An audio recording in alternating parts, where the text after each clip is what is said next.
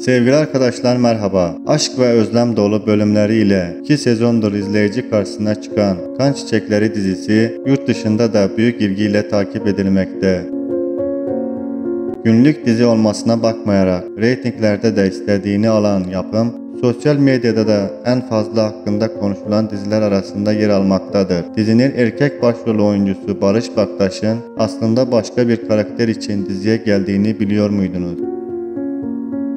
Aslına bakacak olursak Kan Çiçekleri dizisinde ilk başta erkek başrol oyuncusu olarak Göksel Kayahan ile anlaşmaya varılmıştı.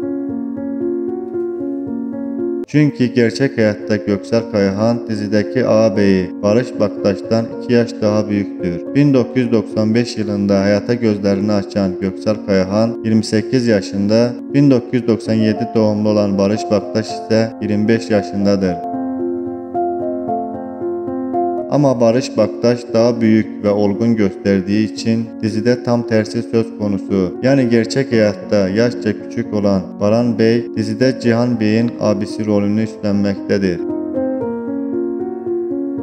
Ayrıca Barış Baktaş'ın başrol oyuncusu olarak tercih edilmesi, onun daha önce Cebarruh ve Tanrı'nın Gözyaşları adlı yapımlarda başrol deneyiminin olmasıdır.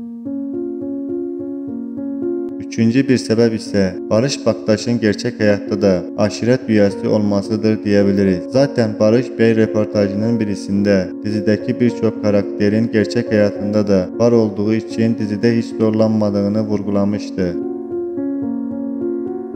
Peki sizce Barış Baktaş dizide Cihan karakterine hayat verseydi nasıl olurdu? Değerli düşüncelerinizi bizimle paylaşmayı unutmayın. Teşekkür ediyoruz.